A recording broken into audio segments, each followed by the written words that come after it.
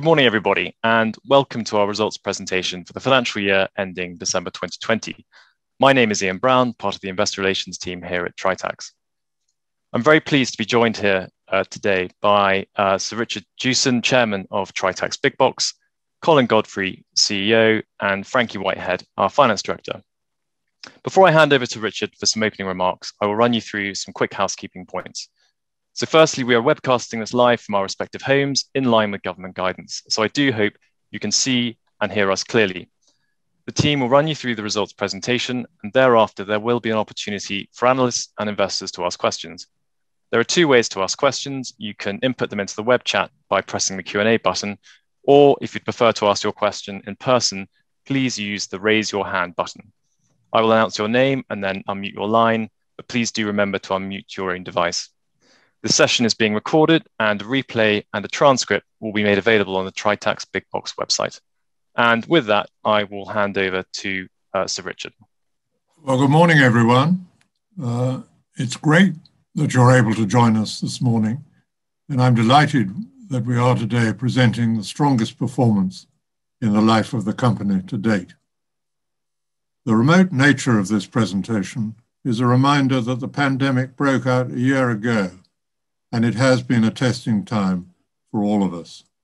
Through this period, we have been extra vigilant and sensitive, mindful of the health and well-being of our staff, contractors on our sites, our customers, shareholders, and all that do business with us.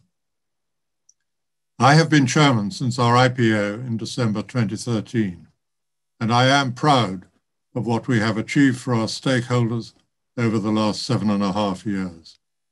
We have grown to become the largest REIT focused entirely on UK logistics real estate, from a startup to a market cap of over 3 billion today.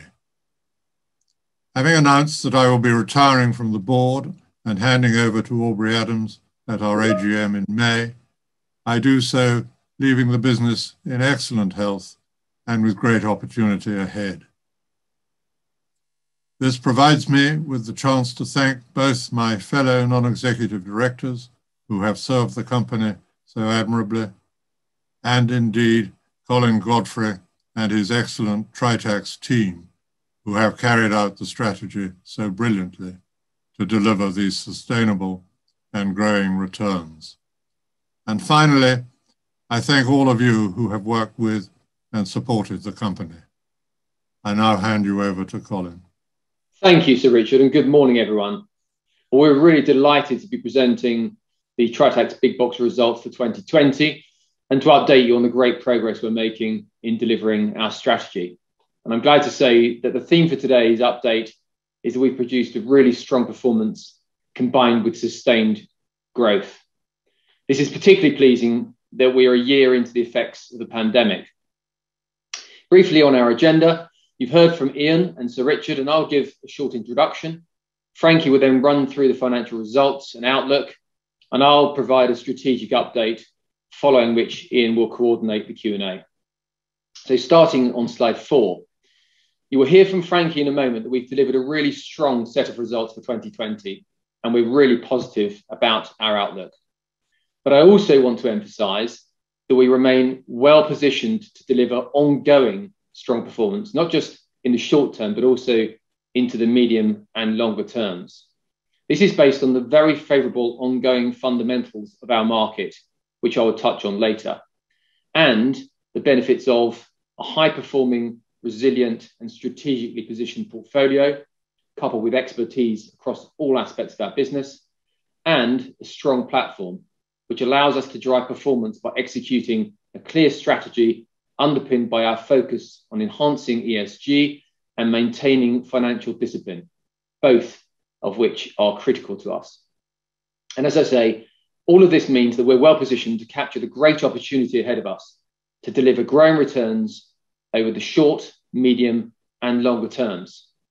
I'll return to these points in a few minutes, but first I'll hand you over to Frankie to run through the financial results. Thank you, Colin, and good morning, everyone. Uh, I'm pleased to be presenting an excellent set of financial results this morning. It's a period where the portfolio has performed exceptionally well. Recording strong levels of rent collection and income growth. And this is highlighted by the 8% increase in adjusted earnings per share. There is also now clear evidence that the development portfolio is increasing in its contribution to overall group performance. This has helped us produce the highest level of capital growth recorded since the company's IPO, with a NAV increase of 15.7% to 176 pence. Our balance sheet is very well positioned, and as a result of all of this, we continue to pay an attractive dividend, but also have confidence in generating strong levels of total return going forwards. Moving on to the next slide and further detail about the strength of our income growth. The group net rental income increased by 12%, primarily driven by our development activity. We've added 16.9 million of new rent through lettings across our development pipeline, which increases the annual contracted rent roll to just over 180 million. This rental growth, alongside our stable operating costs, has led to the cost ratio reducing to 14.2%, which is down from 15.1% last year. And we do expect this to fall further as high yielding assets are developed over time. The adjusted earnings per share has increased to 7.17 pence. This does include approximately 4.5 million of additional other income received via development management agreements, which is a point I will be referring to on a later slide. The fourth quarterly dividend declared this morning takes the overall position for 2020 to 6.4 pence per share, which is a 2.4% increase above the six and a quarter p that we indicated during the first half of 2020. The year-on-year reduction in dividend is a reflection of a strategy that is delivering a greater total return focus, whilst maintaining an element of prudence following COVID-19 and its impact on corporates across the UK. This positions our dividend payout ratio at 90% for the year. Moving on to slide eight, and you'll hear about our development and asset management activity later in the presentation. But these factors, coupled with a very strong market, has improved all key balance sheet metrics. The total portfolio value now exceeds 4.4 billion, and the year-on-year capital performance saw growth of 9.5% across the portfolio, with development profits playing a larger role within the overall valuation surplus generated of over 350 million pounds this year.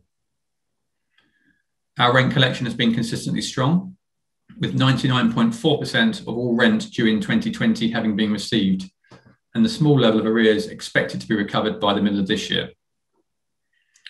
This translates into an approximate 24p increase in EPRA NTA, up to 175.6 pence, and a very strong total accounting return delivered at just under 20% for the year all of which stems from a portfolio which provides a high quality and resilient income stream, but now with the growth opportunity provided by our significant and maturing land bank. Our LTV remains steady at 30%, and the use of our balance sheet remains a key tool for us across our range of financing options. This next slide sets out the detail behind our attractive level of EPS growth, driven by an increase in net rental income of 17.2 million. Starting on the left-hand side, which is the 2019 earnings position at 6.6 pence. The constituent parts of this growth include 0.6p from the investment portfolio, which includes 2% per annum of like-for-like rental growth across the reviews settled. New leasing activity has added 0.3p, and this is partially offset by our net disposal activity.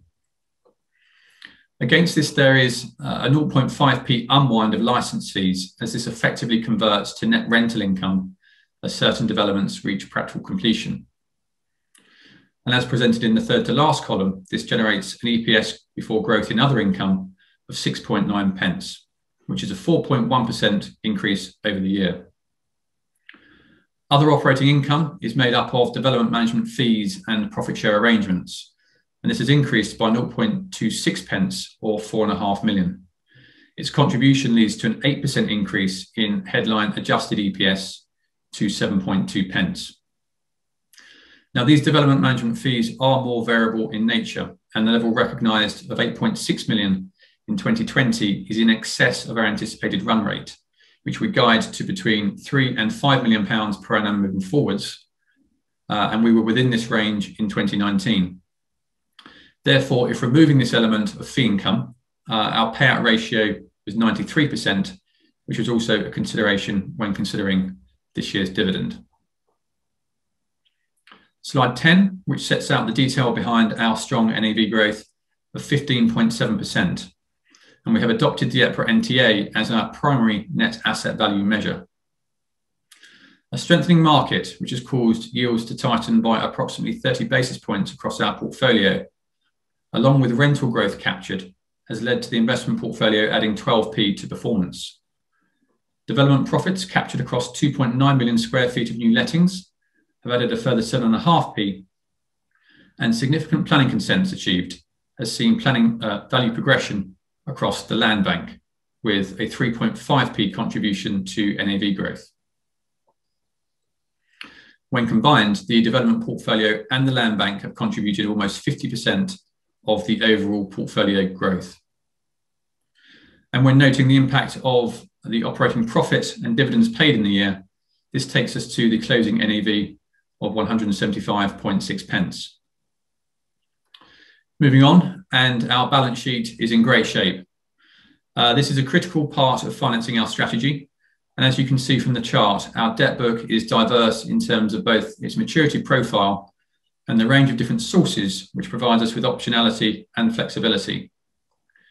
At the year end, we had a loan to value ratio of 30%. When considering our target range of up to 35%, this shows that we have firepower available to us and an even greater level of total liquidity when including all undrawn borrowings. We enhanced this with two main events during the year, as highlighted by the red dashed lines on the slide. Uh, the first was a 12 month extension to one of the company's revolving credit facilities, and the second was our very successful 250 million green bond issue, which has a 13 year term and is attractively priced at 1.5% per annum. The proceeds of which supports our sustainability agenda and has been pledged towards green projects. The combination of these events has led to a debt maturity being maintained at approximately seven and a half years and a lowering of the company's capped cost of debt to now below 2.5%. Just before I comment on the outlook, um, and moving on to slide 12, to give some perspective to the growth opportunity and the value within the development pipeline. This rental income bridge shows that we have the potential to grow the contracted annual rent from 181 million pounds today by, by nearly two and a half times to 430 million. And just to be clear, this is without considering any additional form of market driven income growth over and above today's levels. Included within the starting position is 18 million of rent secured under pre-let arrangements. This is income which is all due to commence by the summer of this year, and we see this as a key factor behind 2021 earnings progression. You'll also note that we have the opportunity to capture a portfolio rental reversion of approximately 6%.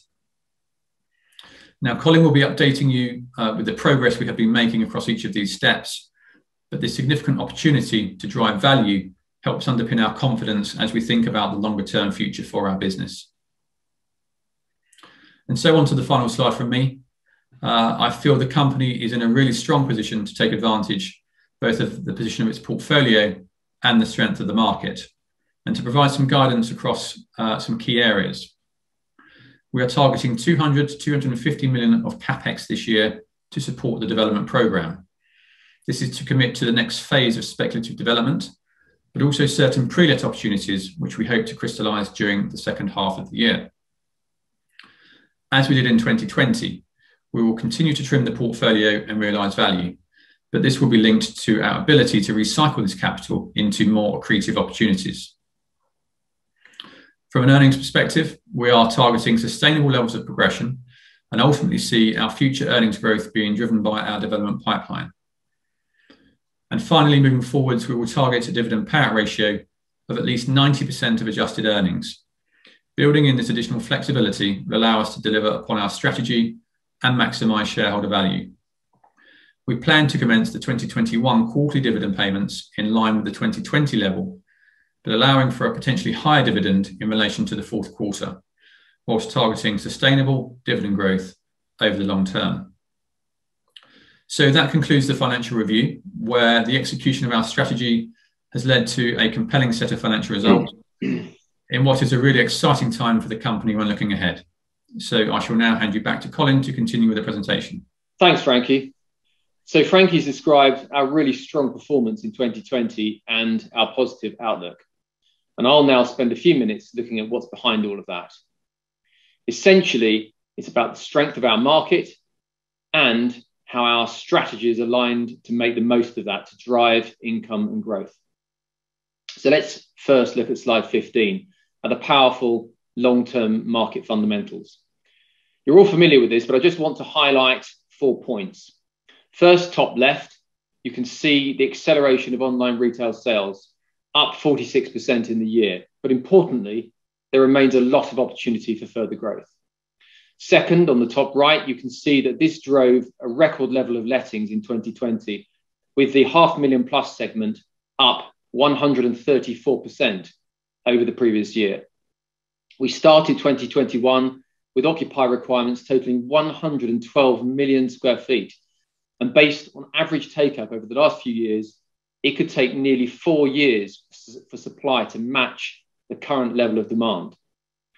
Third, bottom left, how, shows how vacancy rates have dropped significantly. And in fact, there are only four buildings of over half a million square feet currently available to let in the UK. Finally, you can see the impact of these dynamics in the bottom right hand graph, which shows increased investment volumes and tightening yields as investors chase scarce supply. And we believe that there's room for yield compression this year as well, which is good news for our investment assets, but also enhances the opportunity in our development land. While COVID 19 and Brexit have had a positive effect on our market, structural change is the key driver. And we believe that this is still in its infancy, giving us confidence in the significant scale and duration of the opportunity.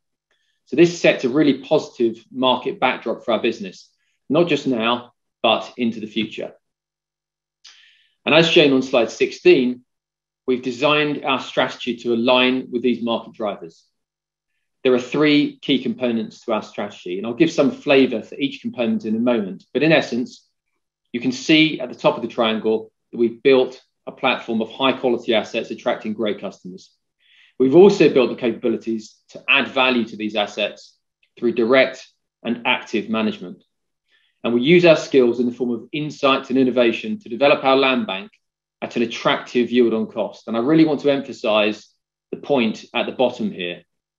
This strategy is underpinned by a very disciplined approach to capital allocation and sustainability is embedded across our portfolio in all, all of our actions, as you'll see on slide 17 from the strong position and progress that we've made.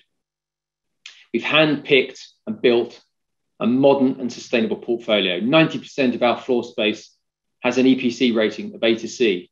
Also, 43% of our total floor space is certified to BREEAM Very Good or Excellent, well above the industry average of 23%. We generated 890 megawatts of solar PV power for our tenants in 2020, avoiding over 200 tons of carbon emissions. We're leading by example with the aim of developing only net zero carbon buildings. DPD at Bicester, uh, which completes this year, will be our first example. Our development at Littlebrook set the group's first social value targets and recorded an additional social value of 8.2 million pounds in 2020 through local employment, community investment, and procurement. And since launching our ESG strategy in mid 2020, we've made good progress against our targets. For example, our GRESB score has increased from one green star to three green stars, and our MSCI rating uh, has improved from B to double B. We've made good progress, but there remains a lot of opportunity for improvement. So you can see that ESG is at the very heart of our thinking and it's embedded into our strategy. Part of the strategy is portfolio composition. And as shown on slide 18, this is built on very strong foundations. As you know, we split our assets between the investment portfolio, which represents 91% of GAV, and the development portfolio at around 9% of GAV. The investment portfolio consists of foundation assets at 73% of GAV, which provides our low risk income with modern buildings, strong locations, and long term high quality customers. and our value add assets at 18% of GAV, which have good capital and rental value uh, potential through active management, for example, lease re-gears or, or property improvements. Allied to this is our land platform and the assets that we're developing, which gives us the opportunity to capitalize on strong market dynamics, both now and into the future. Our land is held primarily through options, which is really capital efficient and flexible.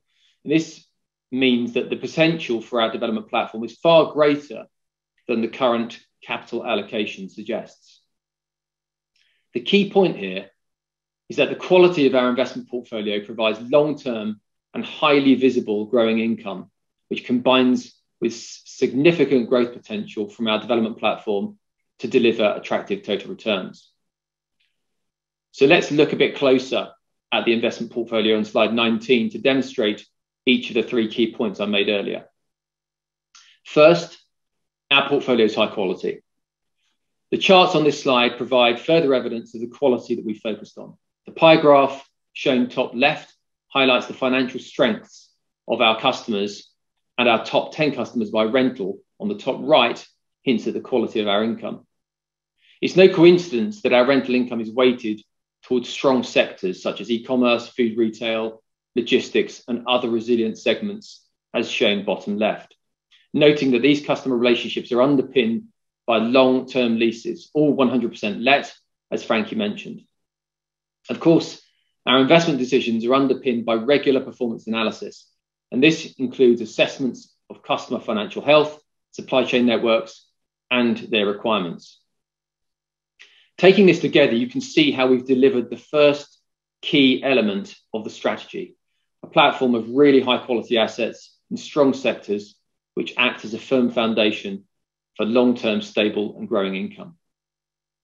Which leads me to our second key strategic element on slide 20, active management to drive value from within. Customer relationships and our understanding of their businesses help us support them and are key to successful active management. For us, this activity breaks down into four components rent reviews, which compound our income, building improvements, including extensions and sustainability initiatives, lease re-gears and reletting, and selective sale and purchase of investments. Compounding and growing income is a cornerstone to our returns. Here we consider its composition and growth potential. As shown by the pie graphs, we benefit from an attractive blend of upward-only rent review types, with a third of our portfolio subject to open market rent reviews and half inflation linked. And while most are five yearly, 12% of our rents are delivered annually. The light shaded section in the graph shows how minimum contracted uplifts will grow our inflation linked, hybrid, and fixed rent reviews at 1.4% per annum over the next two years. The darker shaded area highlights the additional growth potential from open market and inflation linked rent reviews at levels higher than the contracted minimums. And this reflects a potential for over 3% per annum over the next two years. Then on slide 21, let me show you how we've put that into practice, starting with what we've done in 2020. Events such as rent reviews and lease expiries provide opportunity for customer engagement and insight gathering. From this, we can help customers optimize their business plans and deliver value for our stakeholders. For example, last year we removed a lease break option at Marks and Spencer Stoke which extended the term by five years and forward agreed the rent review. Also at Stoke, Dunelm held over on two lease expiries. Both were extended for 10 years on improved rentals. There were 12 rent reviews during the year, relating to approximately 21% of our income, on which we achieved like for like growth of 2% per annum. Combined with the new rents agreed on the buildings I just mentioned, we grew our income by £2 million. And thinking back to the potential for rental income growth on the last slide, you can see here on the right hand graph what's behind that. In 2021 alone, 37% of our rent is being reviewed, with a further 27% due in 2022. So there's significant potential to capture an attractive level of rental growth over the next couple of years. So you can see how we have and will continue to drive value through active management across the portfolio. And as I mentioned, it's an evaluation and insight driven process which underpins our decisions, as shown here on slide 22, where we look at disposals. We undertake regular and rigorous analysis of past and future performance, identifying assets which we believe have maximized returns under our ownership and where there is potential to recycle capital into higher returning opportunities. In 2020, we sold four assets above book value for a combined 134 million pounds in line with guidance, having achieved an attractive average IRR of just under 13% per annum over the blended hold period. Whilst development will be the primary target for sales proceeds, we continually look for attractive investment opportunities. And reminding you that over 80%, in fact, 88% of our purchases have been off market. And slide 23 shows one such example. In 2020 at Southampton, we acquired an asset off market for 44.2 million pounds, reflecting an attractive net initial yield of 5.3%, funded in part by share issuance at a premium to NAV. This is a rare temperature control facility that was just a few months from lease expiry. Our insight confirmed that Tesco wanted to stay in the building and negotiations are ongoing and looking favourable. So that's the second key element of our strategy, actively managing our assets, which leads me onto the third key strategic element here on slide 24, delivering value from our development land bank. The first thing to say here is that we own and control the UK's largest logistics focused land platform. I'll update on progress across the portfolio in a moment, but in overall terms, the next few slides, I'll cover the key metrics that explain why we're so excited about the value opportunity. The map shows the strategic nature of the locations, well diversified across 24 sites and capable of delivering up to 40 million square feet of logistics space. This would more than double the size of our company over the course of the next 10 years if we sold no investments. So this really is a catalyst for growth, as well as maintaining portfolio modernity.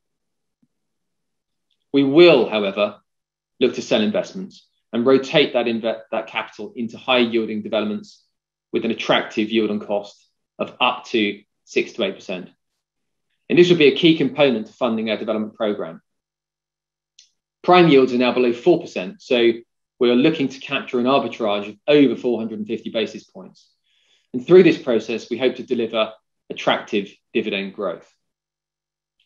And just as a reminder, land and developments comprise approximately 8% of our GAV, but because we control much of the land via option agreements, the profit and earnings growth potential is much greater. As Frankie showed you, it has the potential to more than double our rental income. So let's return to slide 25, which highlights development progress and its increasing contribution to our performance. We secured just under 3 million square feet of development lettings in 2020, and we've grown our rent by nearly 17 million per annum. This included four speculatively developed assets, delivering an attractive yield on cost of nearly 7%. We secured planning consent on land capable of delivering 5.4 million square feet of logistics space in the year, further de risking our land bank and acting as a precursor to securing lettings.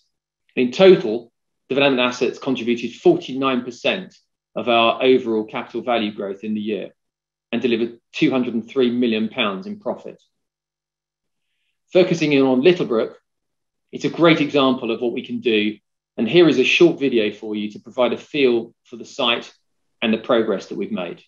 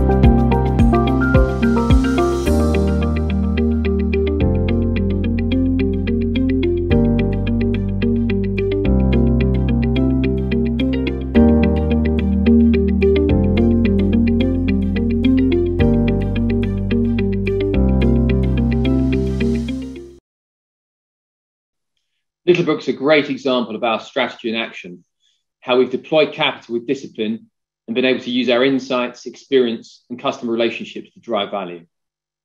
Amazon's building is on phase two. And just to say that development progress has moved on from this video, with Amazon having already installed significant mechanical automation. Turning to phase one, where we already have a planning consent, we recently agreed to our development partner commencing construction of a 450,000 square foot building, which is targeting completion this autumn. And finally, land works are nearing completion of phase three, subsequent, subsequent to which we'll be looking to submit a planning application in the coming months for a range of building sizes. So that's great progress on Littlebrook, and there's more to come. We've made significant progress with the Symmetry land platform as well, as set out on slide 28. We're seeing the benefits of embedding an experienced team with a proven track record within our operations, and we're really proud to have announced our commitment to net zero carbon in the construction of our developments. Since we acquired Symmetry in 2019, we have added four sites, increasing our potential development space by over 11 million square feet, more than trebled the amount of planning consented land, further de risking the land bank, let five speculatively developed buildings totaling 567,000 square feet at a very attractive rental levels, secured a further pre let, and contributed an additional 5.3 million in rental income. Also, we've delivered 111 million in capital profit, reflecting an IRR of over 15% per annum. Our approach to development is focused on reducing risk while maximizing returns. Options over land provide flexibility, are capital efficient, and significantly de risk the development process. We typically only draw down on the option once we've achieved a planning consent, which is a value enhancement milestone. Planning is therefore a powerful development tool in reducing risk, and this is the first major stage in advancing capital full value from the development platform. And whilst we've made excellent progress, it's still early days, and there's a huge amount of potential here, making the prospects for our business very exciting. That brings us up to date for symmetry. So let's consider the development outlook overall on slide 29. Firstly, we've witnessed a significant increase in occupational inquiries over the last six months or so, equating to a current level of inquiries exceeding 16 million square feet. It also echoes the favourable backdrop I mentioned earlier, where current demand exceeds supply by several years based on recent delivery rates. We're guiding two to three million square feet of development per annum, which Frankie mentioned.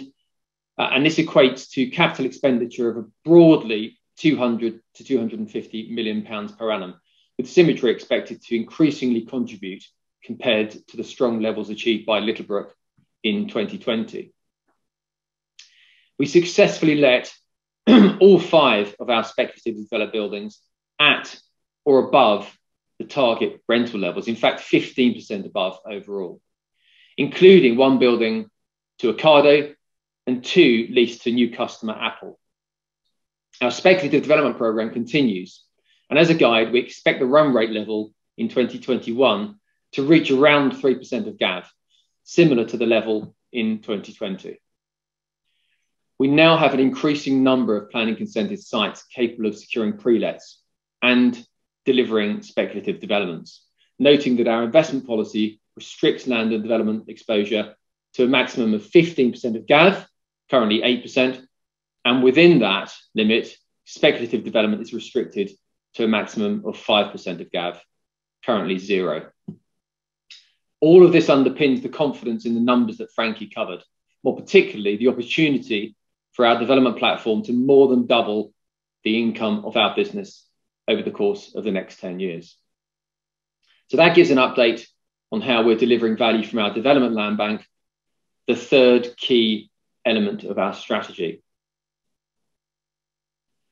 And taking our strategy overall, you can see that the combination of our unique position and positive market presents a significant and attractive opportunity for us to grow and capture value.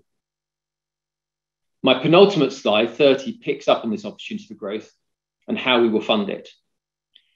The first thing to stress is that to maximize returns with lower risk, we must undertake development activity in a patient and controlled way to achieve a manageable and sustainable level of growth. This extends to a carefully considered and disciplined approach to the use of capital. And I'm pleased to say that we're well positioned with a range of funding sources at our disposal. This is cornerstoned by our strong balance sheet, where, as Frankie mentioned, we have available firepower and will continue to manage our LTV carefully. We complement this with capital recycling from selective investment disposals, as evidenced in 2020.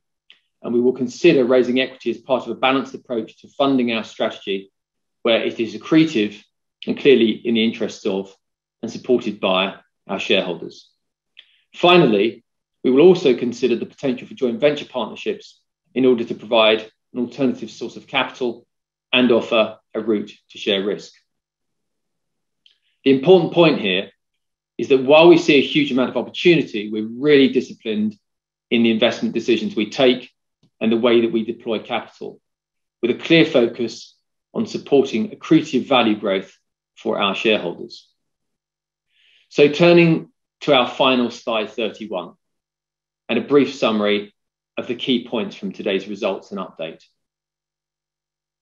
Despite the challenges of COVID 19 and the uncertainty that it's created, we've delivered a really strong set of results in 2020 and a seventh consecutive year of growth. We have a well positioned balance sheet and the financial discipline to support our clear strategy, which is designed to deliver attractive and sustainable performance. This is backed by a strong and exciting market, both occupational and investment, supported by structural change and which we believe will remain attractive for the long term. Our market has material barriers to entry, and our unique position and expertise means that we're well placed to take advantage through our high quality investment portfolio and the UK's largest development land bank. As a consequence, we're confident in delivering long term income and value growth for our stakeholders. Thank you for listening. I'll now hand over to Ian, who will open up the questions uh, of questions uh, for your session. Great, thanks very much, Colin. Um, and just as a reminder, there are two ways to answer uh, to ask a question. Um, you can use the web chat feature and type your question in, um, or if you'd like to ask your question in person, you can press the raise your hand button, um, and I will then uh, announce your name and unmute your line, and you can ask your question. Um, we've already had a couple of uh, questions in on the, the web chat. So I'll, I'll, I'll take the first one here from, uh, from Robbie Duncan at Numis. He's got two questions. Um, the first one is, where in the 6 to 8% target yield on cost range do you expect the next phase of developments to land? Um, and the second question is, historically, Big Box has had a 9% per annum uh, total accounting return target, um, split uh, 6% income, 3% capital. Has the target and or the composition shifted as developments become an increasingly import, important part of the business? Well, th- thank you, Robbie. That's uh, really helpful. Um, I, I, wasn't quite didn't quite understand the, the second component part of uh, Robbie's question about the six to eight percent raise. You, I think you talked about cost. Uh, yeah, sorry, uh, yeah, target yield on cost. And and you said where's that coming from? Uh, uh, where where do we expect? Uh, what do we expect? I suppose on the on the next phase of development. Yeah, look, um, we, we regularly. I mean, I can. Frankie might want to pitch in on this as well, but we regularly uh, undertake um, assessments of all of our development appraisals uh, throughout the Symmetry Land Bank on uh, on a regular basis, and and we're making sure all the time that the juxtaposition between value and cost is carefully considered. Um, we've not seen significant cost inflation coming in yet. And of course, um, the value of the land has, has been increasing and the underlying value of the investments that we're looking to create has been increasing as well. So we believe that we're more than uh, keeping pace in terms of, of that, that value gap, as it were.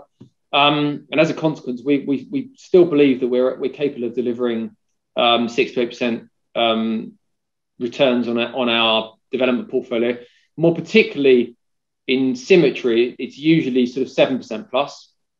Um, we're, we're guiding 6% plus on our uh, Littlebrook land bank, which of course is in London, where, where land cost is higher. So that that gives hopefully gives you a, a good feel for the, for the range uh, of that. Um, turning to the second part of, of your question in terms of the nine percent total return, yes, that that was a historic guide, and I think it's important to recognise that um, the business has uh, undertaken um, you know, a, a, form of evolution um, as we've matured in acquiring land from 2017 when we acquired the development land bank at Littlebrook and then subsequently in 2019 when we acquired Symmetry. Um, and this is partly in recognition of you know, the potential for slowing yield compression over time. Ultimately, it will come to uh, a halt, and we think that values will hold up well. But you know, it's, it's important to recognise the value contribution that our development platform can then deliver. And we'd like to think about it more in the realms of delivering the long-term sustainable returns in the upper single digits and, and the lower double digits. Great. Uh, next question comes from uh, Mike Prew, who asks um, Big Box has a perfect rent collection record. So, can you explain why the dividend payout ratio has been redefined and in light of this, how should we think of future returns being balanced between NAV growth and dividend income, income growth, please? Okay, well, that's probably one that Frankie might like to start with. Yeah, hi, Mike. Um, ultimately, it's about maximising shareholder returns. Um, I think, firstly, you know, our dividend remains very attractive, um, and we expect this to grow on a sustainable basis over the, over the long term.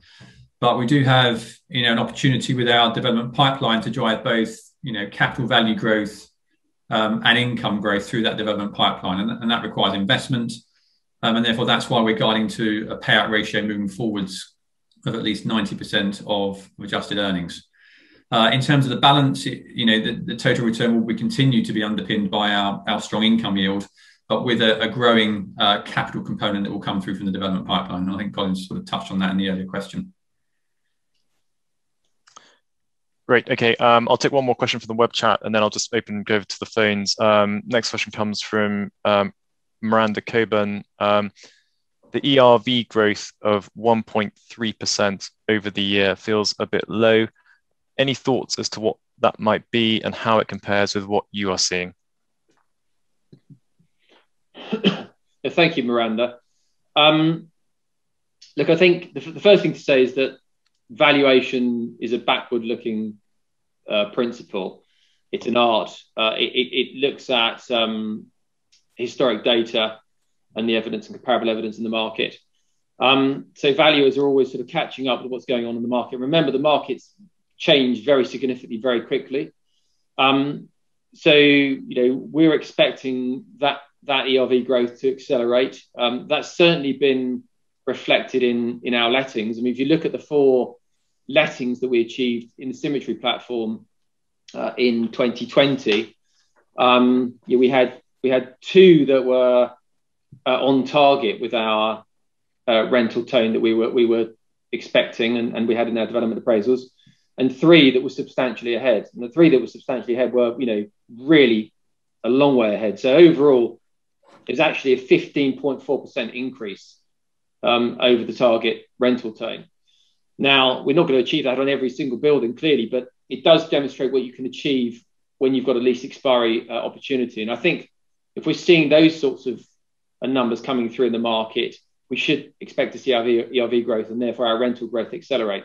But of course, we don't want a boom and bust situation here. Um, what we're looking for in our market, and we believe that we can deliver in the big box arena, is attractive uh, rental growth levels which are outstripping inflation by, by a good degree and which are sustainable over the longer term. And, and given the, the low risk offer and the quality of our offer, we believe that that's a really good juxtaposition uh, to, to be looking to enjoy in the longer term period. Great. Um, I think I'll just turn to, to the phones. So um, we've got a question from Paul May uh, at Barclays. So um, Paul, I'm going to open your line up. Um, you just need to unmute yourself. Um, you should be able to ask your question. Hi guys, can you hear me okay? Morning, Paul. Yes, we can. Good. good. Uh, great presentation, all, all you know, firing on all cylinders. Just a few specific questions from me. Um, happy to do one at a time. We can just run through them quite quickly. The is it right that uh, from H2 or sort of Q3-ish sort of time, all of the pre-let rental income will start to impact the the P&L or start to benefit the P&L? Is that kind of the right sort of timing? Correct. Back end of summer, um, Paul, for, for the final one to complete that's yeah, in the ground. Yeah. And is the total uplift going to be the 17.8 million of rent, or is it the 19.1 million that's in the EPRA um, net initial yield table? It's sort of there seems to be a couple of figures for rent income. It, it will be the 17.1. There's a bit of a timing difference between the two, but it'll be the 17.1. And what's the sorry last one on that? What's the net uplift when adjusting for license fees currently being received? So broadly, you need to deduct from that around six million pounds, which will be the uh, this, the Littlebrook contribution in 2020. Um, so you, are down at 11, 11 and a half million pounds as, as net contribution to adjusted earnings. Brilliant. And then also also linked to rents. Um, what's the as of the end of December? What would be the gross rental income on the portfolio uh, in terms of a start point moving forwards? There's various figures in the in the presentation and in, in, in the report. So just trying to get a, a start point as a, as a guide.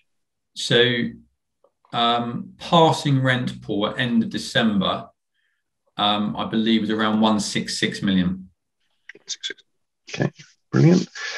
Um, moving on to sort of the future, obviously a huge opportunity coming through from the development pipeline. You mentioned sort of capex expectations uh, moving forwards.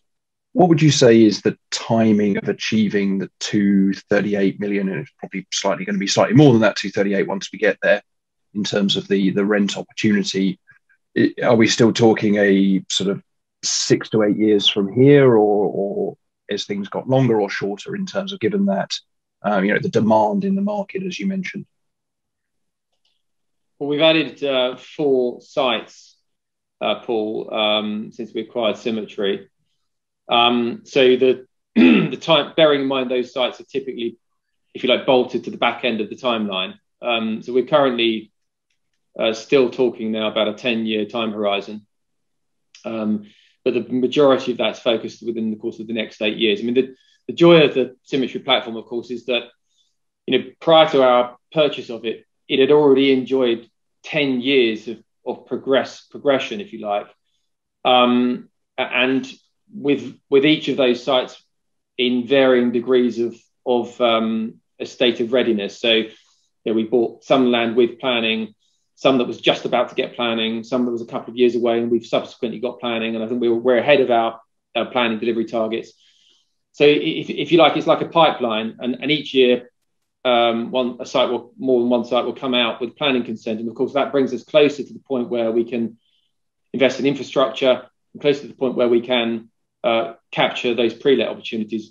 They're reminding you that we, we've still got a number of uh, sites where we've achieved planning consent and yet where we've yet to draw down the land um, because we're in control of the timing of that process. And, and what we're doing in the background there is, is looking at and dealing with infrastructure um, and also looking to, to bring on board uh, and, and, increase the level of um, occupational interest with you know, the ideal that we can we can tie at least one pre-let up by the point that we then acquire the land or even part of the land because we, we often don't even need to, to acquire all of the land in, in, in one go. We can draw it down in parcels. Okay, cool. And then finally, just uh, and I think you touched on this through presentation um, or towards the end of the presentation, the, the funding of that opportunity, obviously uh, quite a large investment required uh, to achieve that. I think you've done a great job in sort of uh, you know, transitioning the the strategy towards the disposals that you've made and, and focusing on that capital recycling. Um, it'd be great if that continues moving forward, but obviously minded by the fact you're now trading at a premium to asset value, and that's typically been a time when, when equity has been, been called upon. Um, and also with regard to the new Manco ownership structure and in terms of their focus, I presume their focus will be again to increase fees being being achieved from from the uh, the operating platform. So just wondered how those discussions are going and what the thinking is and the sort of strategy moving forwards.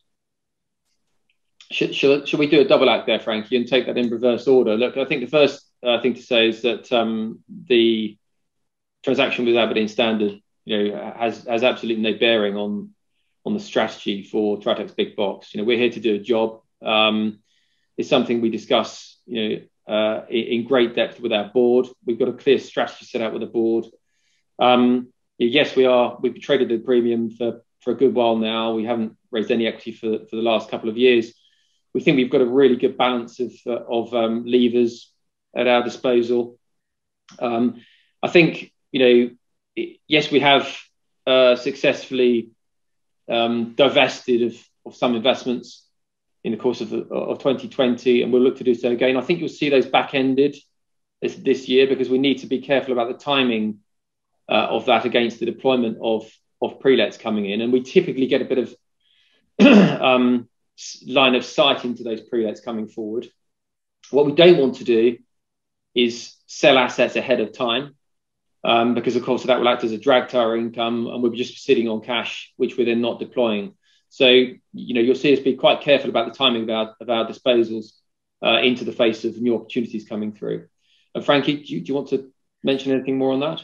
I mean just just to put some color on um, near-term capacity i suppose. You're looking at the balance sheet at, at 30% um, you know medium-term guidance at between 30 and 35% in terms of that LTV position, you know, round numbers, somewhere between 300 and 350 million pounds worth of existing balance sheet capacity, and that's prior to overlaying any disposals that, that occur in, in 2021. So you know there is plenty in, in the tank um, in terms of, of, of, existing capacity to, to finance uh, the near term. Great. Um, Great stuff uh, apologies, Paul. I, I, I, I, inadvertently muted there, but um, uh, thanks very much. And we'll move on to um, Andrew Gill from uh, Jefferies. So, uh, Andrew, I'm going to unmute your um, line now.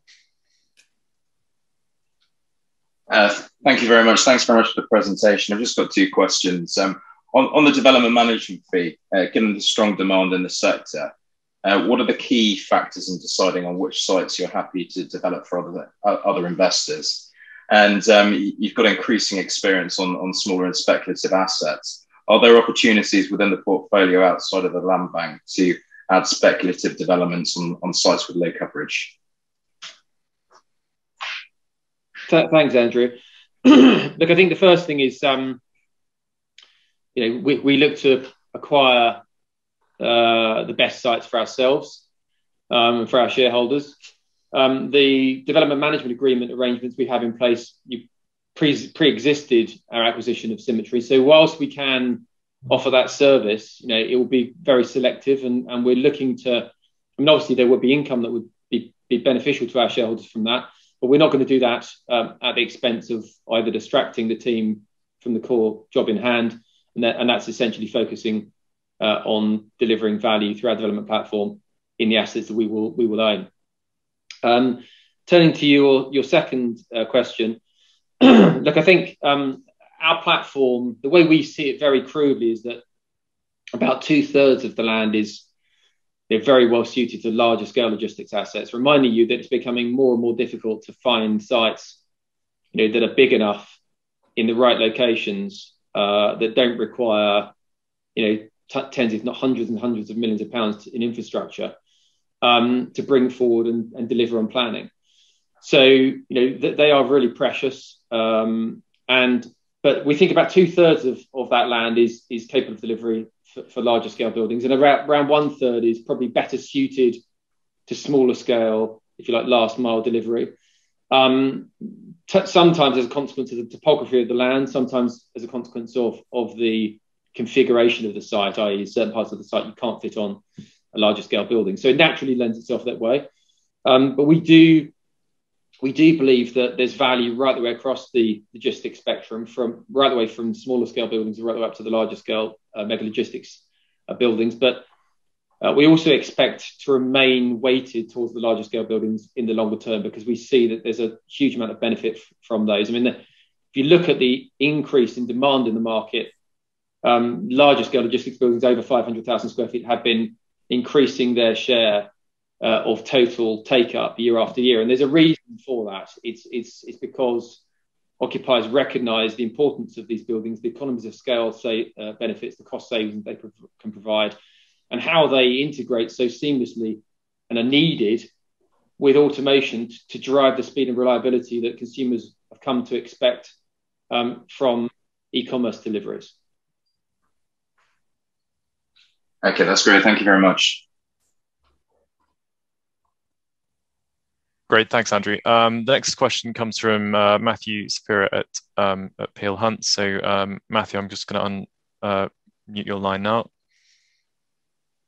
Should be able to uh, answer your question.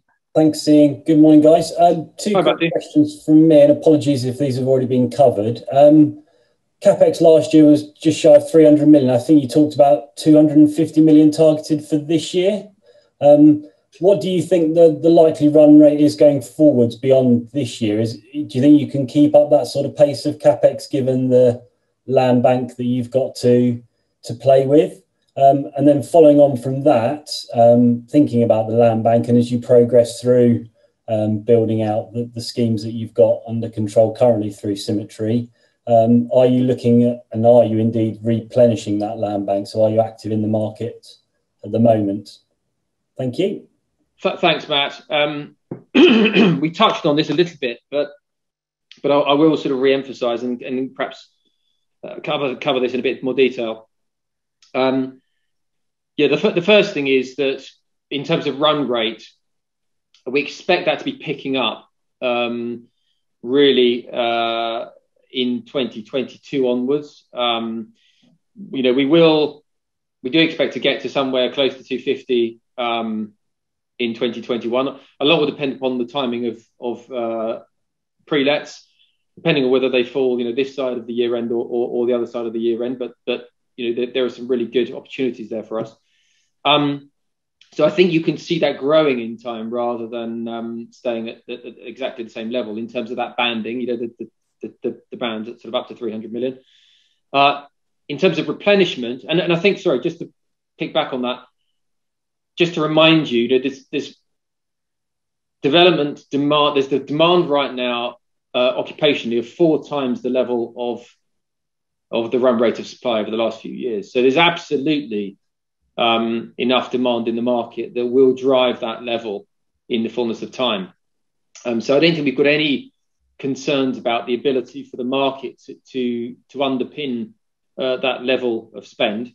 Um, in terms of replenishing sites, I did mention a little earlier that we've added four sites uh, to the portfolio since we acquired Symmetry. we will continue to look for new sites, but we're being really selective about what sites we're buying. That we're really looking for value, um, and we're looking for sites that you know we're not going to be waiting ten years um, to be able to, to to put a spade in the ground and start a vertical build on. So it's really opportunistically led, and yes, we will be looking to, to add more because that way, we're creating value for this platform for the longer term. Perfect. Thanks, Colin.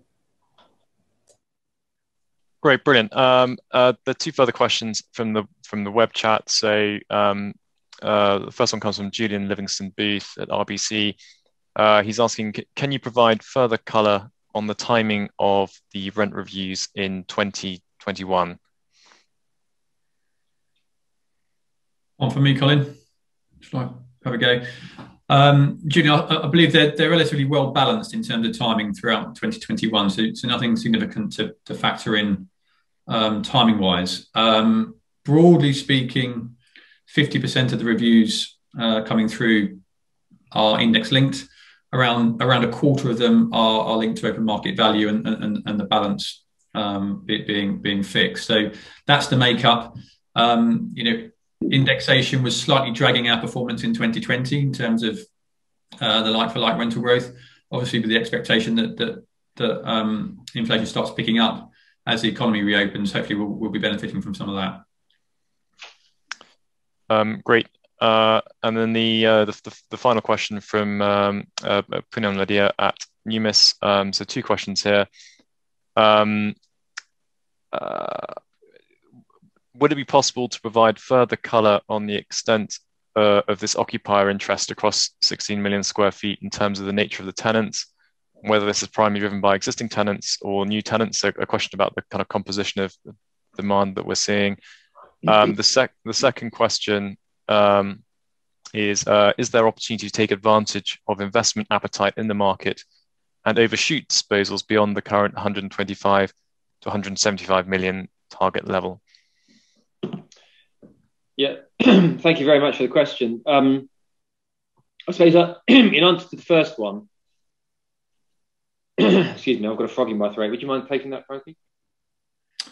So the first one in terms of the 16 million square feet. So um, yes, we, we, we do regularly look at at this. Um, broadly speaking, and this is this is broad brush in terms of the occupier interest between sort of current tenants and new tenants. It's 60-40 in favour of, existing tenants. Um, broadly speaking. Um, yeah, you'll see, for instance, um, you know, this year we we leased one new building to Ocado, an existing tenant, and we attracted another new tenant in, in the name of um, Apple uh, for a uh, TV studio operations we may have seen in the press.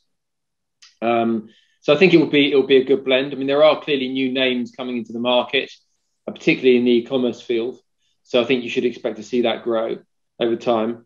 Um, in terms of, of appetite and rate of disposals, look, it, it's really a case of, of us flexing the disposals against the backdrop of the strength of the investment market to maximize returns.